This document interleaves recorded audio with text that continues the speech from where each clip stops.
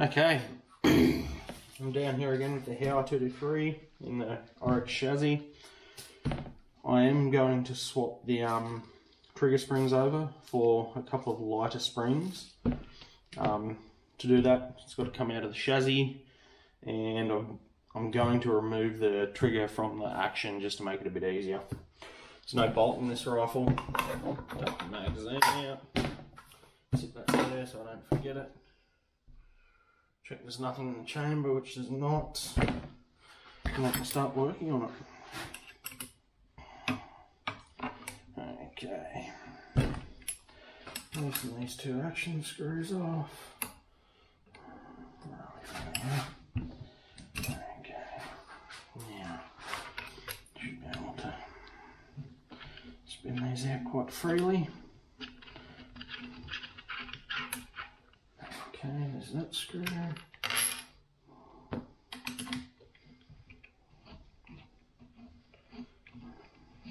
I already tighten these to 55 inch pounds with the torque wrench when I'm done.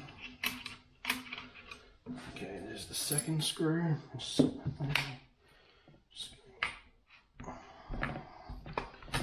gently remove that from there. Long screw to the back in the Chevy, short screw to the front. Set the Chevy over here. Set the screws there so we don't lose them. Okay, now we'll leave this as a metric. I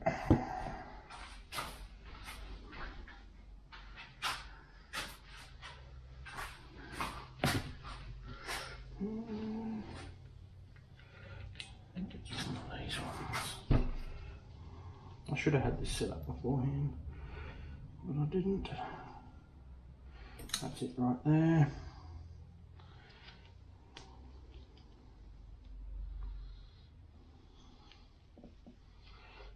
Loosen this off. Now the trick with um, pushing these push pins out is don't lose the little E-clips.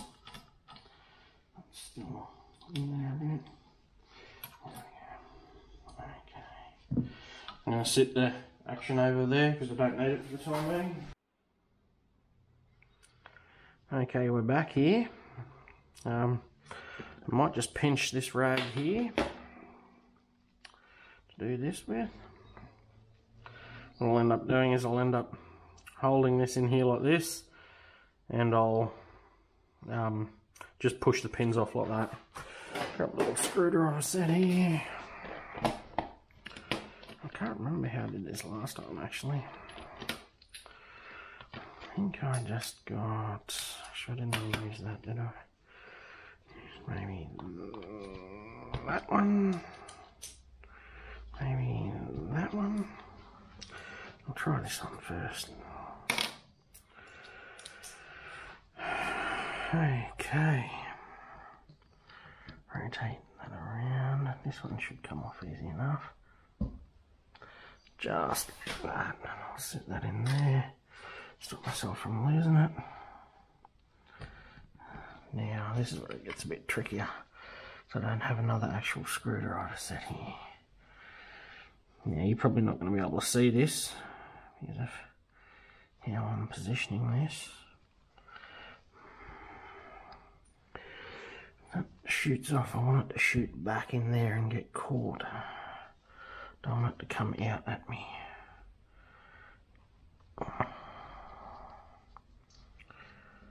Which is easier said than done because I don't have little pliers to pull these things off with.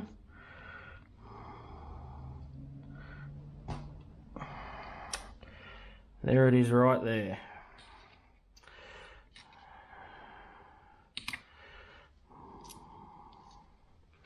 And because it's magnetised it won't come off. There we go.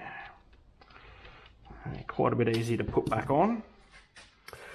So, this is the trigger.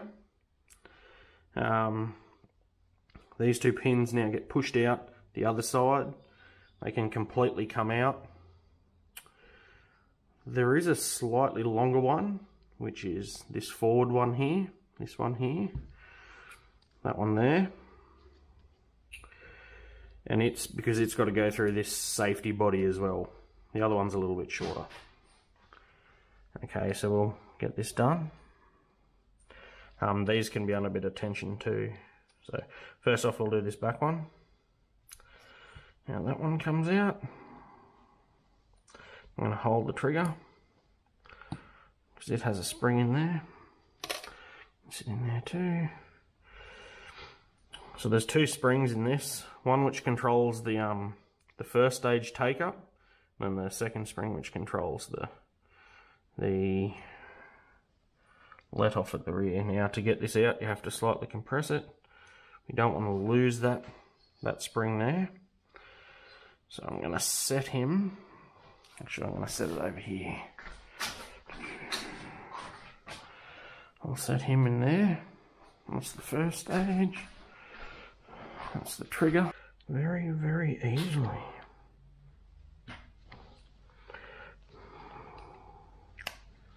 There we go. I'm guessing it was just a bit of that thread locker caught caught in there inside the body. I put that in there before I got the um before I got the the replacement the replacement E-clips. Now, that longer one in there. Take that. Yeah, there's definitely some junk on there, which I'm guessing is thread locking compound. We'll sit that in there. That's definitely what was holding that pin up. Now see sear drops free and that's the other spring. You guys probably can't see it. There's the sear and then another spring which is the trigger weight spring. Okay, so we've got the trigger, the sear, the sear spring, which is what controls the second second stage pull, and it is the bigger of the two because it has to deal with more weight than the first stage take up. Otherwise, if it was in the reverse, it'd technically just be a single stage trigger. There'd be no point in having a two stage trigger. Okay, now give this stuff a bit of a wipe off. Make sure it doesn't have any junk on it. And then this is the other kit here. It's just a matter of separating the two springs. There we go.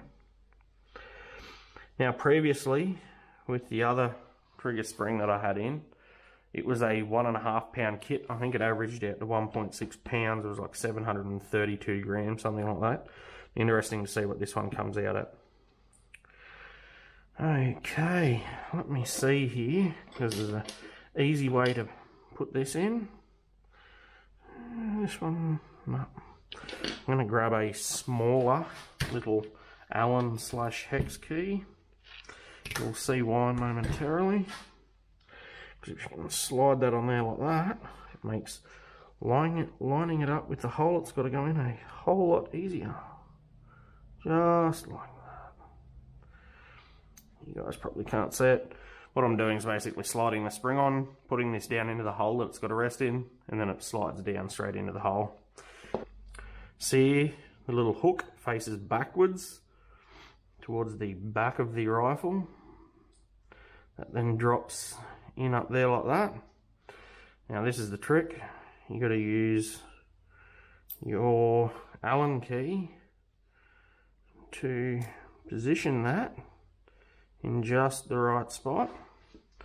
I've got that there. Now I've got to grab my longer, the sear pin. I'm going to slide that pin in so I can see it almost there like that. I'm going to slide the sear down to the point where I line those holes up just like that and then boom that's the sear in place with the new spring. All i got to do is put the E-clip back on it. Okay, and like I said, I'll use the E-clip that come with this trigger spring kit because it's a better fit, it's a tighter fit. Not that my one, the aftermarket one I got wouldn't hold it, just this one will probably hold it better. Okay, with the trigger, see there's that hole in the forward, so the trigger faces, well, trigger faces this way on the gun, so you're pulling back on it this way. This is the hole that the pin slides through, the push pin. This is the hole that the first stage spring sits in inside the trigger to provide that resistance. Okay, so I'll put both E-clips on together when I'm done. This is the slightly trickier one because you have to fit it in with the spring in the trigger like so and it's very hard to get it to fit nicely because it has to push against the sear face there.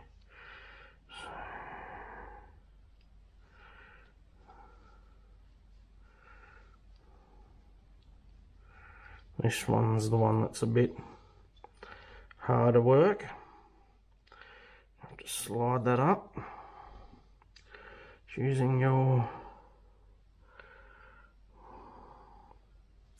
This will actually stay there now. So I need my shorter push pin.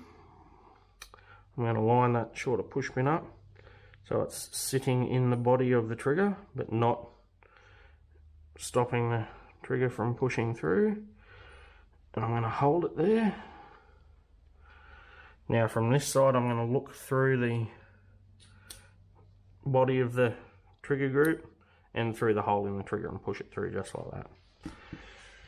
Now, again, this is where we get sort of complicated because what we're going to do is we're going to have to put these E-clips back on and because they're under quite a bit of tension sometimes they're hard to put on. So hold both of them together slide one up where against where it's got to go. And because this is a magnetized tool head I'm actually going to swap it out. Swap it out purely for this driver bit make things a bit easier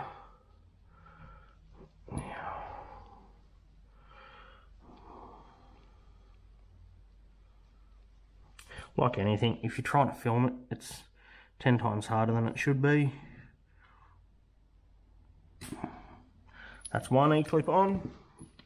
Now I just got to grab the second one. Nope. Yoink. Pick him up like that. It's also harder because I'm wearing gloves.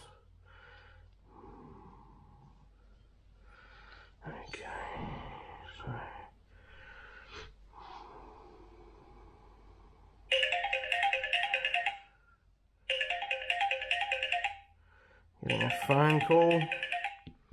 I'll pause the video and pick it back up. I fit that second pin while I was on that phone call, which I forgot to turn the camera off. I pushed the wrong button. Um, but yeah, it's very simple to fit. All you're doing is just pushing it back on. That trigger is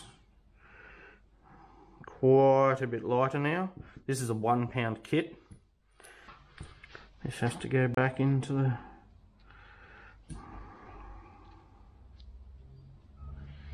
into the trigger. Let's do this first bit by hand. I'll tighten this up because I can't feel the tension on that spring because it's a relatively light spring. I'll tighten that up. I'll put it on the gun because it's easy enough to adjust this while it's on the gun. And then we'll get a, a weight on this and we'll see how much it weighs.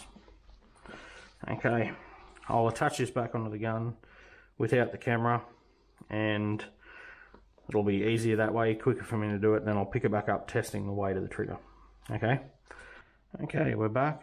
We've got the trigger attached to the gun. It was literally a 10 second exercise, just putting one screw in.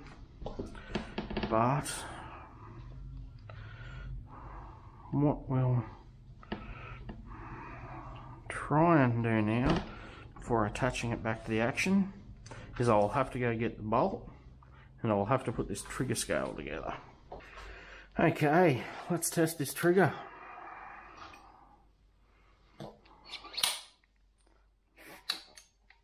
Okay, it's supposed to be about a pound. Let's see if we can. That's the first stage take up. You still come up against a decent wall.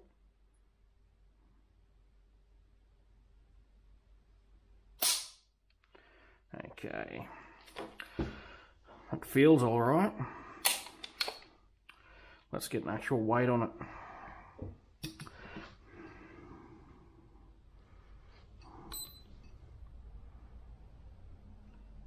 First stage.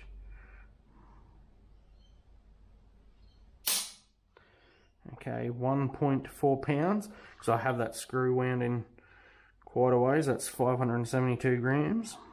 Okay. I'm gonna set that down for a moment and I'm gonna mess with this screw which means I'll have to loosen this off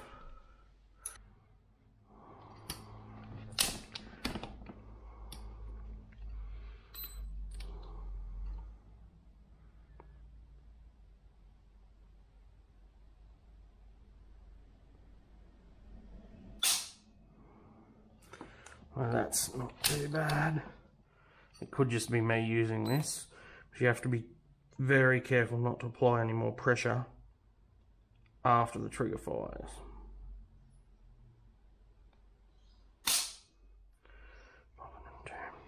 That should be good. I'll leave it there.